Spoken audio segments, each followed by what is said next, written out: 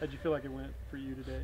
I feel like it went good. Um, not my best day. Wasn't perfect. Missed a couple over 50, um, but I showed that you know I have the leg for that because I feel like that was my question was that you know he's you know I'm really accurate, but I don't have the that 55, 60 yard leg, and I had the leg on a uh, on a couple of those. Just missed them, just just left. But um, yeah, I felt really good. I made them all 50 and in. And then uh, I think I showed, had some good kickoffs too in the end zone, even though I didn't really have that on film from uh, school because Noah did it um, on the team, but showed that today that I can do it in front of the scouts. So it's good, good to see some uh, some balls uh, on kickoff go in the end zone.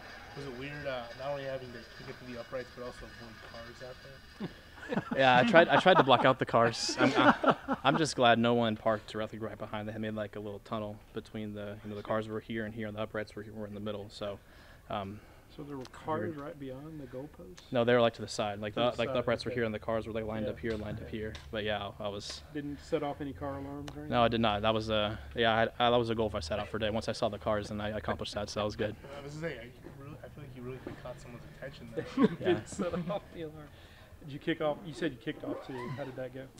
I think it went well. Um, obviously, I don't, like I said, I don't have, I don't have film on that like I do field goals. Um, but uh, I feel like I showed I got, I have good range. Um, can drive the ball deep. Um, a couple I think had 4-0 hang time and went uh, you know, three to five plus yards deep in the end zone. So I feel like I showed that I can have some value on kickoff as well as on field goals.